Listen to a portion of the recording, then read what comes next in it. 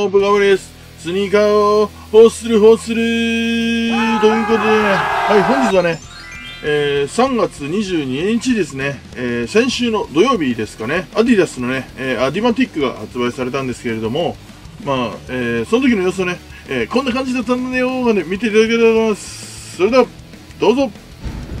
ということで、はい、えー新宿のね、アディダスで、えー発売されたりしたんですけど、まあ、ほとんどね、あのなんだろう、まあ、店舗が絞られて発売したんで、数がね、えーまあ、どんぐらいなのか、まあ、あんま俺もわかんないけど、まあ、数はその割とあったらしいけど、ただ店舗数が、えーすごく少なかったようで、はい、めっちゃ並んでましたね、まあ、300人ぐらい、えー並んでたのかなって感じですね。はいまあね、あのーやっぱこのね、並びのワクワク感、ほんと久々ですね。もうドキドキしてね、あのーちょっと懐かしい感じもしたっすね、僕並んでてね。うん。で、まあ抽選、もうちゃちゃっとやってね、こう、なんですかね、まあ、ちゃちゃっと、えー抽選をして、こう無差別にね、あのー券が配られるわけですけれどもね、はい、67番だ。で67番って言われてもあんまピンとこなかったんだけど、おお昨日から昨日からずっと入ってるんです昨日から入ってないけど。おお小森さんなんかから見てます犬来たすごいじゃん。ガモリさんやりましたね。やりましたよこれ。俺より早い。俺90ガモリさん。この間の二次会と同じ格好じゃないですか。いやジャージの T シャツだけ違う。これアディいやジャージの T シャツでも違うんですよ微妙に違うそうだ。アのあトリコロール T シャツエミネムでしたもんねでもフリックス。フリックスフリックス。おおおおおかわりですよろしくお願いしますいや変な感じになっちゃうですね、まあ、スニーカー買える、買えないもそうなんだけど、やっぱこういう出会いが結構面白くて、あのね、あのー、ケンジさんがいました、ケンジさん。はい、あミノルさん、スニアカさんもいらっしゃり、あと、あのね、先ほどフリークスキックさんでしたっけ。って方もいらっしゃりとかね、なんかこうインタビューみたいなのもね、してましたね、なんか、ちょっとね、あの、よさげなカメラ持って、これどこのチャンネルなんだろうかあったけど、ケンジさんのチャンネルなんかちょっと俺もよくわかんないですけどね、まあ、ケンジさんとも初めて会ったんですけどね、うん、まあね、ケンジさんはもうスニーカー界のドンファンって言っていいぐらいのやっぱりこう、ね、あのスニーカーめっちゃね、いいの持ってるんでね、はい。うん、まあこんな感じでしたね、店内ね。はい。すごいね、あの、スムーズでした、9時も。時間帯がこう決まってたんで、何時に来てくださいっていう感じだったんで、まあ、トラブルなくスムーズに。スニアカさんとね、あの、クックさんっていうね、今ね、あの、スーパーあの話題のね、えー若手のスニーカー YouTuber にもお会いできてね、こうね、やっぱこう、スニアカさんとは、まあ割とこう、古い付き合いというか、まあ、ミノルさんとかもそうなんですけど、ま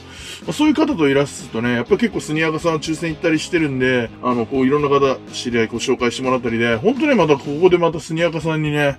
あの、借りを作ってしまった風味なんじゃないでも本当面白くてね、やっぱね、あの、こういう、まあ、一期一会じゃないけど、こういう場でこう会うっていうまた面白さがね、すごく新鮮でね、もうほんとスニーカー買いに行って、当たっても外れてもとかよりも、やっぱこういう方が面白いにね、抽選の方はね、まあ、結構いい感じで、まあ、要は靴は変えた状態ではあったんだけど、ただ自分のサイズがなくて、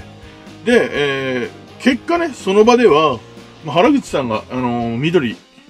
緑色のやつ欲しいって言ってたんで、じゃあまあそれ買いますわっつって、まあそれを買ったわけなんだけど、スニアカさんの、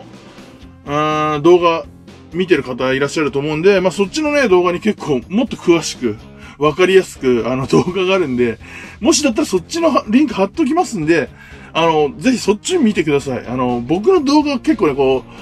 う、あの、こんな感じだったよ感なんで、まあ、フィーリングっすね、要は。まあ、ちょっとフィーリング系なんで、あの、感じるっていう動画、動画を感じる動画なんで、まちょっとわかりづらいと思うんで、まあ、詳しい動画はね、あの、スニアカさんの動画に、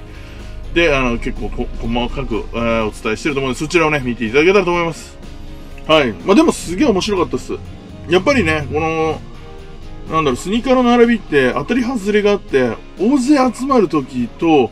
まあ、思ったより並ばなかったりとかって時があって、やっぱこう、たくさん並んでるとね、人の足元見たりとか、人の動きを見たりとか、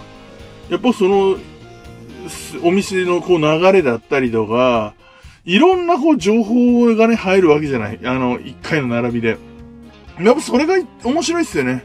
うん、みんなどんな靴履いてんだろう。みんなどんな服着てんだろうとか、どういうシステムでくじをやってるんだろうとか、あとアディダスの店舗がね、あの、新宿のね、ま新南口かな南口かなちょっとね、あの、新南口かなちょっとね、あの、いつもの東口のアディダスではなかったんで、まあ、それもね、俺東口普通に向かおうと思ったら全然、まあ、たまたまミノルさんから連絡が来て、いや、いつものアディダスではないよって言ってて、反対口にアディダスができたからそっちだよみたいなことを言われて、それで気づいたりしてね、やっぱりね、こう、人の情報というか、多分ね、その情報がなかったら僕は全然違うとこ行ってただろうし、そういう、やっぱりね、こう行って分かることだったり、行って気づくことってすごくあって、